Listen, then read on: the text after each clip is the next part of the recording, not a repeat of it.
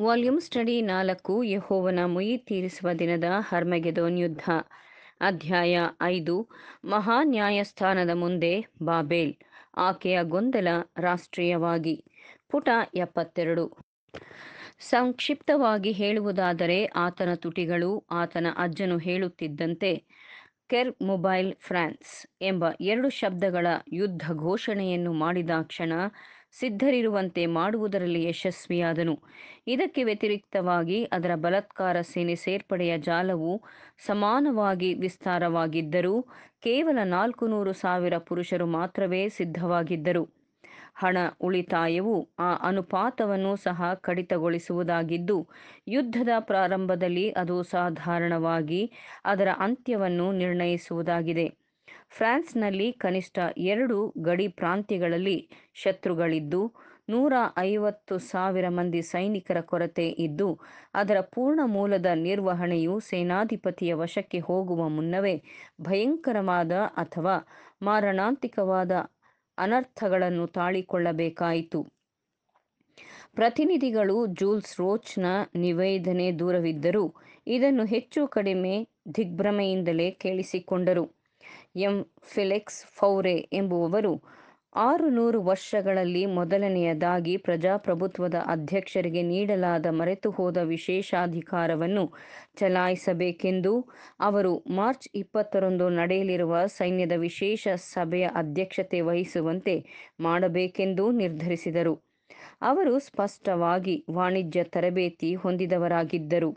ಸೈನಿಕ ಪರಿಸ್ಥಿತಿಯ ಲೆಕ್ಕ ತೆಗೆದುಕೊಳ್ಳಬೇಕೆಂದು ಯುದ್ಧ ಘೋಷಣೆಯ ಎಚ್ಚರಿಕೆ ಭಾರಿಸಿದ ಕೂಡಲೇ ಹೊರಡುವಂತೆ ಫ್ರಾನ್ಸ್ ಬಂದೂಕಗಳ, ಕುದುರೆಗಳ ಮತ್ತು ಯೋಧರ ರೀತಿಯಲ್ಲಿ ಏನನ್ನು, ಎಷ್ಟನ್ನು ಹೊಂದಿದೆ ಎಂದು ಸ್ಪಷ್ಟವಾಗಿ ತಿಳಿ, ತಿಳಿದುಕೊಳ್ಳಬೇಕೆಂದು ಉದ್ದೇಶಿಸಿದರು.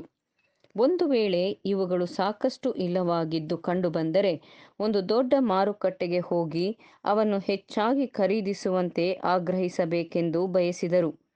ಅವರ ಈ ದೃಢ ನಿರ್ಧಾರದಿಂದಾಗಿ ಅವರು ಇದರ ಬಂಡವಾಳ ಆ ಸಾಹಸ ಕಾರ್ಯಕ್ಕೆ ಸಾಕಾಗಲಿಕ್ಕಿಲ್ಲ. ನೂತನ ಸರಕುಗಳ ಸಂಗ್ರಹ ದುಬಾರಿಯಾಗಿದೆ ಮತ್ತು ತಮ್ಮ ಸಾಮರ್ಥ್ಯಕ್ಕೆ ಮೀರಿದ್ದಾಗಿದೆ ಎಂದು ತಿಳಕೊಂಡಿದ್ದಿರಬಹುದು. ಆದರೆ ಈ ಎಲ್ಲ ಘಟನೆಗಳ ಮಧ್ಯೆಯೂ ಅವರು ನಿಖರವಾದ ಸತ್ಯವನ್ನು ತಿಳಕೊಳ್ಳ ಬಯಸಿದರು. ಎಂ. ಫಿಲಿಕ್ಸ್ ಫೌರೆ ಎಂಬುವವರು ಒಬ್ಬ ತಿಳುವಳಿಕೆಯುಳ್ಳ ವ್ಯಕ್ತಿಯಾಗಿದ್ದರು. ಆದರೆ ಎಂ.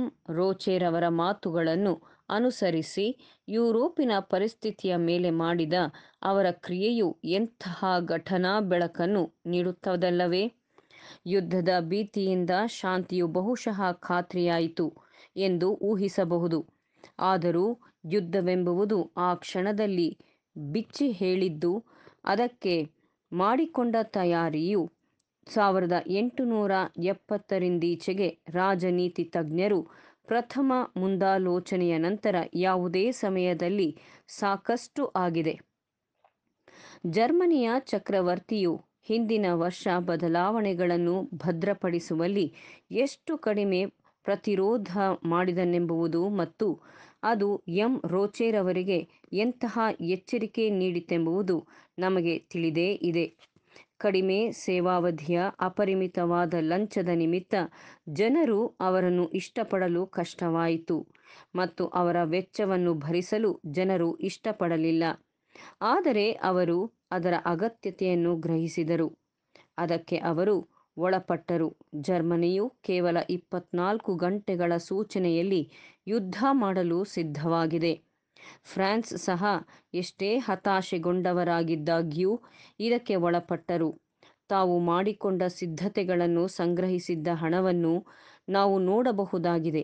ಆದರೆ ಅವು ಅಧೀನಪಡಿಸಿಕೊಂಡ ಗಂಡಾಂತರದ ತಿಳುವಳಿಕೆಯ ಕಾರಣ ಅಸಹ್ಯವಾಗಿ ತಿರಸ್ಕರಿಸಲ್ಪಟ್ಟಿದೆ. ಫ್ರೆಂಚರು ಜರ್ಮನಿಯವರಿಗಿಂತ ಹೆಚ್ಚಾಗಿ ಮೊತ್ತ ಭರಿಸಲು ಸುಸ್ತಾಗಿದ್ದಾರೆ.